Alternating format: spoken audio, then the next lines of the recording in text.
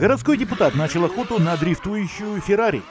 У наших южных соседей в самом административном центре курортной части Урала зреет нечто типа классовой ненависти к владельцу неимпортозамещаемой автомашины Феррари, которой злые языки приписывают стоимость аж в 30 миллионов рублей, хотя альтернативные челябинские эксперты предлагают вдвое меньше. Местный депутат требует от местного правоохранения прижать владельца к ногтю. У него и меры наказания уже все расписаны. Речь идет о двухлетней Ferrari 812 Superfast, которая последние пять месяцев числится за 32-летним уроженцем Южноуральска Стасиком, живущим последнее время в Москве, но в Челябинске появляющимся слишком часто, и это бесит электорат.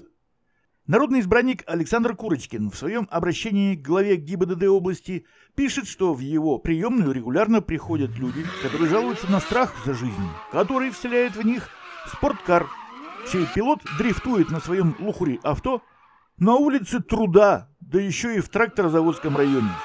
Издевательски над пролетариатом, издавая своим 800 лошадино-сильным двигуном о 12 горшках вот такие трели.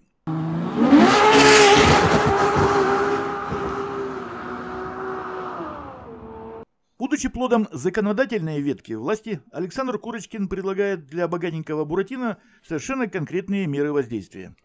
Цитата.